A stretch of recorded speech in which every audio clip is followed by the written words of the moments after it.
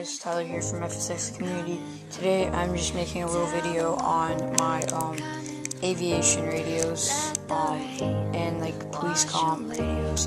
Um, so yeah, first I'll start with my uh, transceiver. This is my transceiver, it's like 10 years old.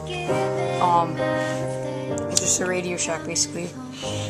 And you can just tune in different frequencies.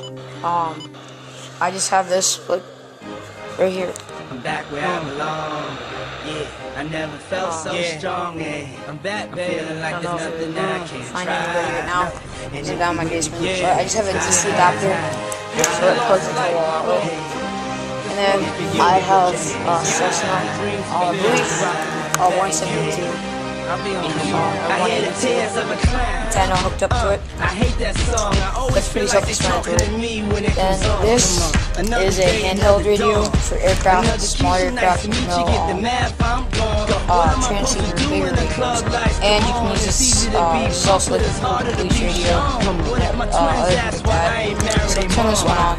Just turn it on. How do I respond? What if my son stares with a face like my own and says he wants to be like me when?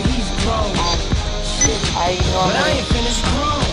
Another night that never will prolong. Another day, another dawn. normally turn it Tell on. Keisha to reach out, better out and moan.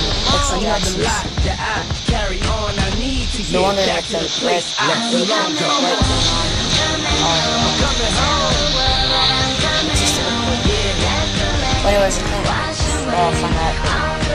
But um, yeah, it's pretty self-explanatory. Um, I have an adapter where you can put a headset and. Um, now if any of you guys do have a radio like this, uh, and you're on a public channel, Check this out. please don't press that. house not a home. I hate this If song. Is a uh, you get caught when your loved transmitting ones your is radio, things like that, the FAA will track the radio signal down. And you know you you will get have took the arrested. bullet if you So, saw it. yeah.